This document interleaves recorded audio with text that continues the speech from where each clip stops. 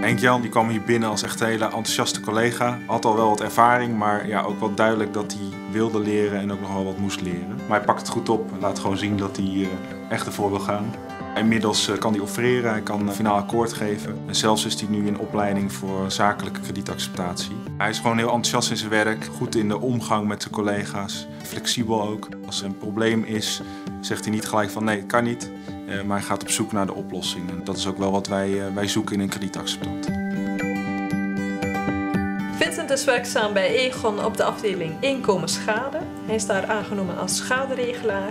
Het is een uh, enthousiaste, harde werker. Hij is erg betrokken. Vincent heeft naast zijn reguliere werkzaamheden ook nog de taak om de nieuwe processen in een nieuw systeem te gaan vertalen, zodat wij straks nog efficiënter kunnen werken. Ik merk dat Vincent dat onderdeel het leukste vindt aan zijn werk. Dus het, in kaart brengen van die processen en samen met een team ervoor te zorgen dat het gewoon goed in ons systeem komt. Ik heb Vincent leren kennen als een zeer toegewijd persoon. Een uh, echte professional. En alle ervaring die hij in andere bedrijven heeft opgedaan, neemt hij natuurlijk ook weer mee hier naartoe. En dat past hij hier weer toe. Ellen werkt bij ons op het business actuariaat ziektekosten. Is daar met name bezig met de prijsstelling van onze producten. Tevens werkt ze aan de ontwikkeling van onze schadelast en kijkt ze hoeveel geld we nog achter moeten zetten voor de uitkeringen die nog gaan komen.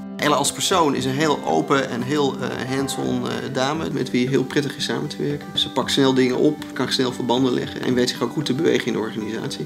Dat betreft is ze niet alleen theoretisch, maar kan ze het ook gewoon praktisch toepassen.